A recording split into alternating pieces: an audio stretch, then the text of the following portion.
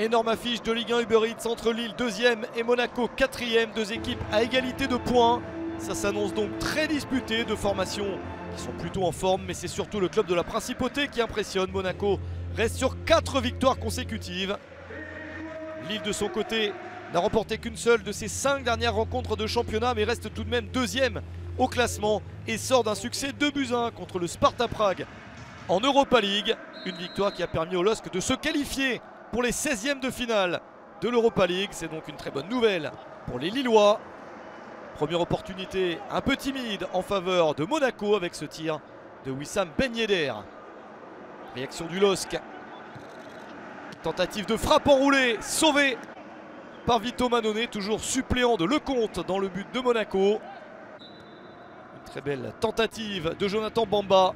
0 à 0 à la mi-temps. En seconde période, chacun cherche à marquer le but qui va faire mal à l'adversaire. Joli travail de Jonathan David pour donner à Burak Yilmaz. Le Turc donne le ballon derrière lui à Iconé.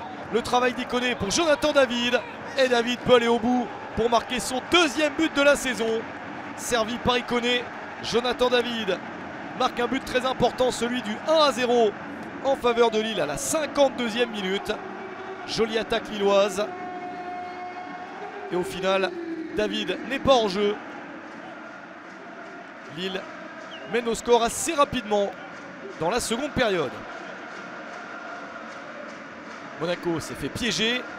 Il y a encore du temps pour revenir. Les Monégasques essayent de se relancer.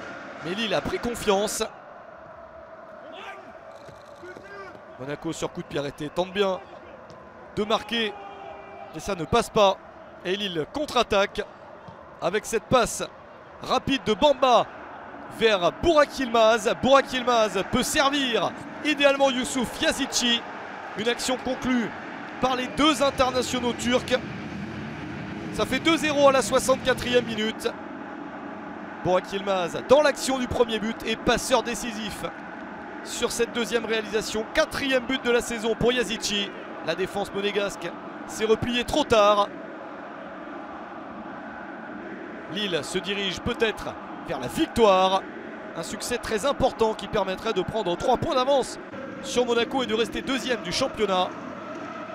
Et Monaco réussit à trouver quelques solutions avec ce but de Pietro Pellegrini servi par Cesque Fabregas.